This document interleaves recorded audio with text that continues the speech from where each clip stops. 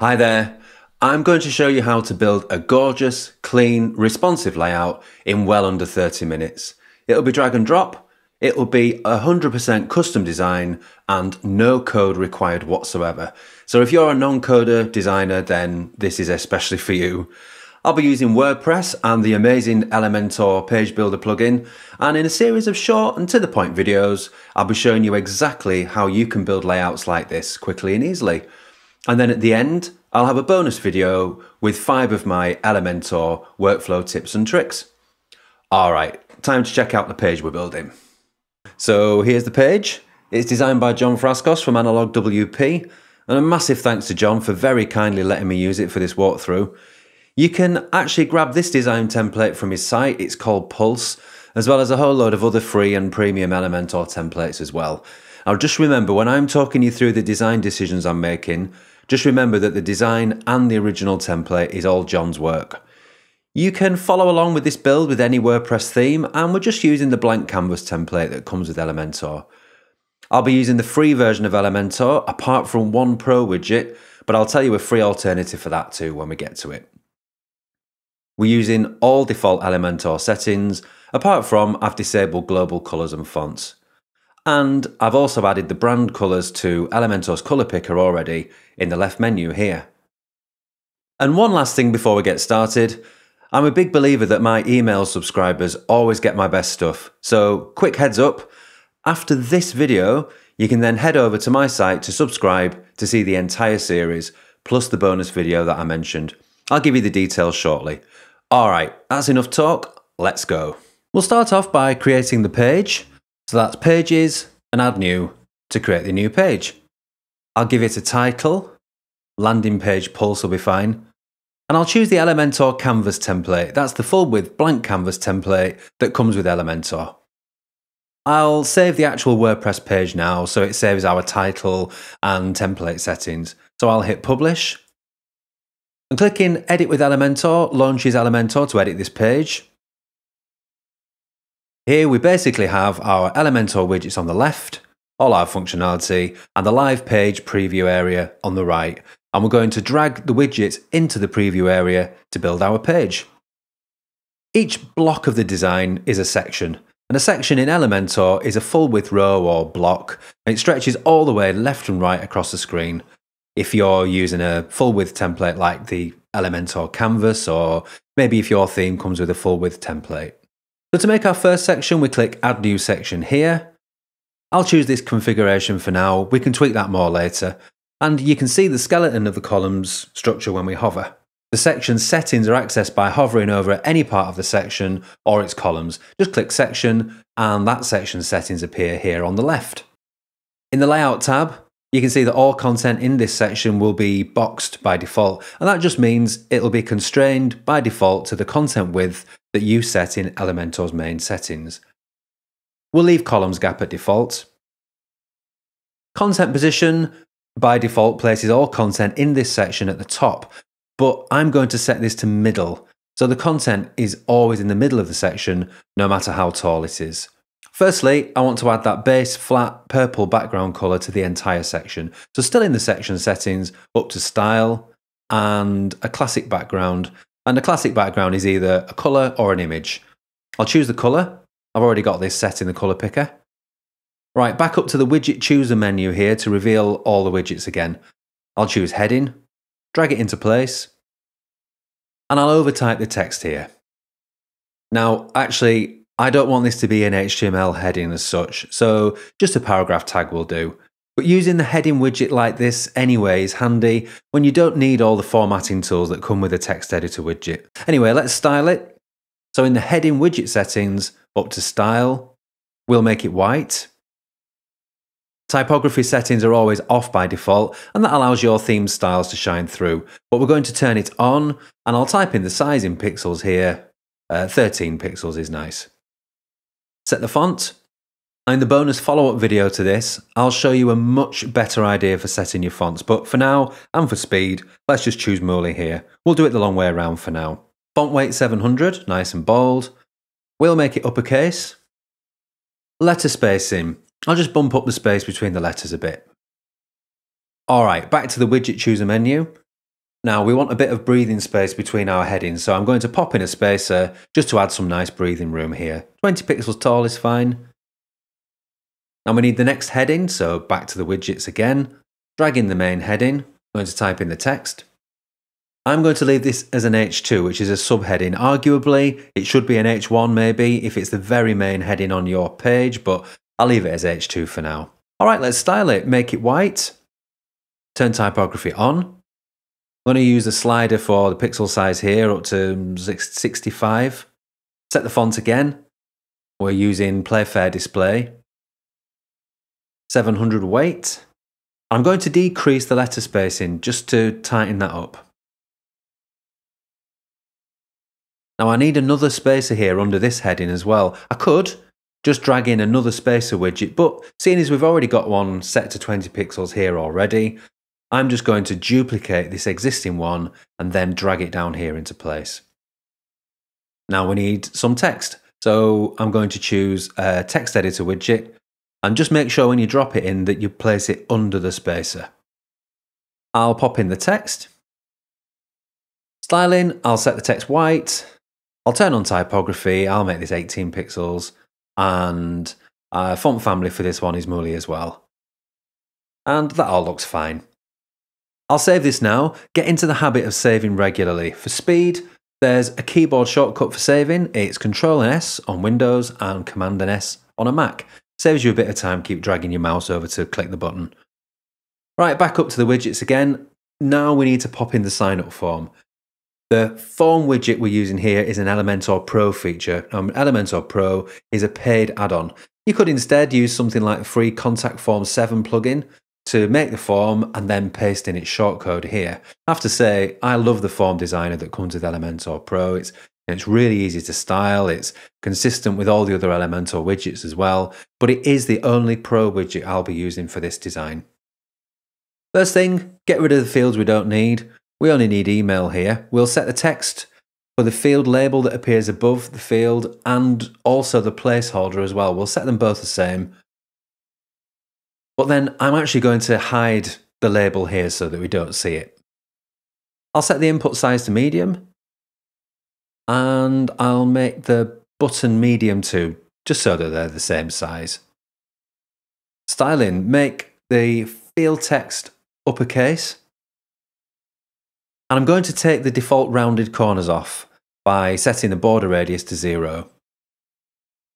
And now for the button, I'll set that uppercase too, and I'll just choose the background colour that we already set in the colour picker. I'm going to turn rounded corners off on the button too, so that's zero border radius. Okay, next job is to drag our main image into the right hand column. So we go back up to the widgets, um, drag in the image widget. I need to now choose the image from the uh, media library.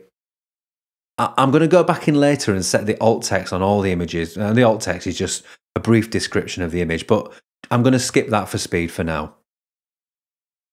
And John Frascos, who designed this landing page, he actually already created and uploaded all his images at the very largest size they'll ever need to be for the design, which is really good practice. So I can just set the image size to full here. I'll align the image over to the right, so it's always over to the right of the column.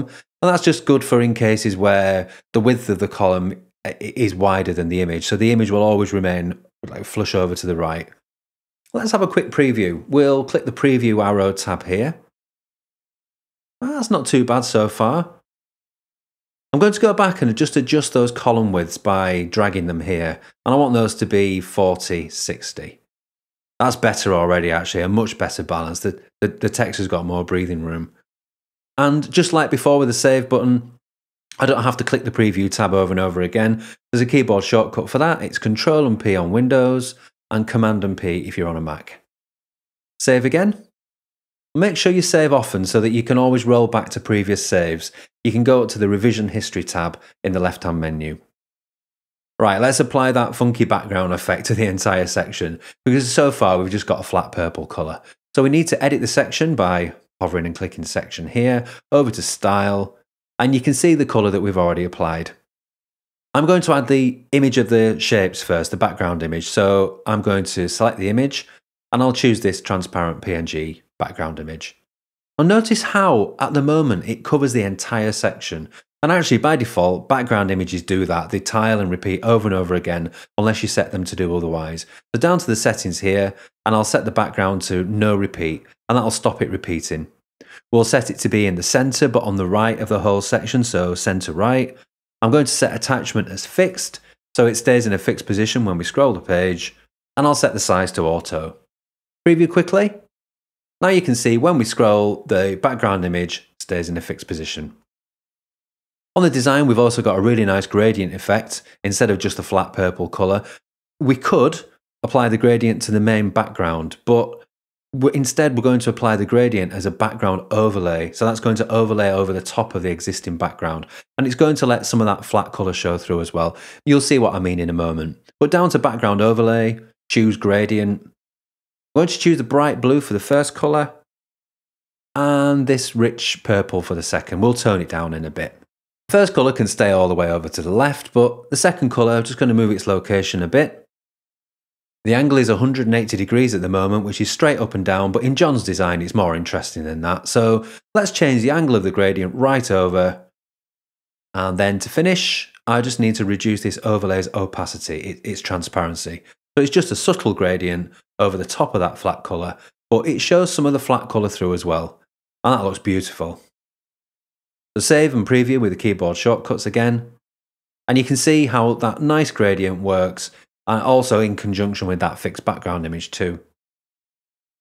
Now we also have the funky shapes at the bottom of the section, so we'll use this section shape divider settings for this. So still in the style tab, so we want the shape at the bottom of the section. Let's choose waves. A little play with the width and the and the height. And we can leave everything else as it is. I'm just going to just give that a quick preview to see what we've got. And yeah, that looks really nice. Okay, well, we've got our content in, but now we need to give this whole section some more breathing room. You might have noticed it's really crushed at the moment.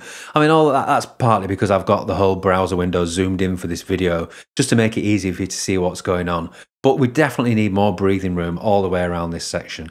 So to do that, we need to come up to this section's Advanced tab, to add spacing in web design, you've either got margins or padding.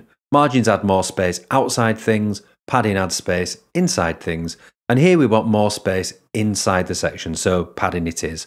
Unlink the padding so we can have a different value for each one. And I'm going to go with 160 top and bottom, 80 pixels left and right, and that just really allows all that to breathe. In the design, the bottom of this image actually overlaps the bottom of the section. It cuts right across the wave shape and it looks really nice. And to do that, we're going to use negative margins. Negative margins are a great trick for all sorts of layout effects, which I'll be going into lots more depth on in other training. But here right now, I just want to pull everything under the image up. I want to pull the, the whole section up. You'll see the effect in a moment. So I'm going to add more and more negative bottom margin to the image to pull that section under it up. And you can see more clearly when we preview how that image now cuts across the top of the wave shape and the bottom of the section. Oh, that looks really good. A quick save again. All right, just some a few more small tweaks. We have the default columns gap setting on this section, if you remember. And default columns gap although it adds 20 pixels between each column, the way it does that is by adding 10 pixels padding all the way inside each column. Um, I'm actually going to remove that default 10 pixels padding. I'm going to go to the column settings and advanced and set all the padding values to zero. And the reason is really we've got plenty of natural space in here already in the design. I'm going to do that the same for the second column too. Finally, we just need to quickly check some responsive basics, just, just for speed for now. There's lots more we can do with responsive editing in Elementor, but for now, just click the responsive icon down here, check tablet, and mobile, and yep, you can see that large amount of padding that we added to the whole section earlier for desktop, it just won't look that great on smaller screens. So to fix that, well, I'll first go back to tablet here. We'll tackle tablet first. Then we'll just go up to this section's padding settings again. Now, tablet and mobile automatically take on whatever you set for desktop by default. You can see there's now tablet and mobile icon. We're on tablet right now. So we need to override what we set for desktop before. So I'll unlink the padding. I'll make it 80 and 40 instead of 160 and 80. And that's better. All right, and click mobile. Now mobile takes on whatever was set for tablet, but we'll override that and make that 40 and 20. And that looks way better on smaller screens. Just scroll down, you look down here, and on mobile, our columns are now on top of each other, which is great, but they are a bit pushed up together. So what I'm going to do here is just add a bit of bottom margin to the bottom of column one, and that's going to just push column two away from it. If you remember, margins are on the outside of elements. And I think that looks good. Okay, so we'll save. I'll use the responsive menu down here to cut back to the desktop view. And that looks really, really nice. Section 1, done. So that's the end of part 1. Hope you found that useful to see the process and the design decisions made and just how easy Elementor makes it to build responsive layouts like this. Now, please leave me a comment below if you like the video or if you've got any questions and subscribe to my YouTube channel if you haven't already. As I mentioned at the start, my email subscribers get all my best stuff. So to get the rest of this mini course and the follow-up bonus tips video as well, just hop over to designbuildweb.co slash elementor mini course. See you soon.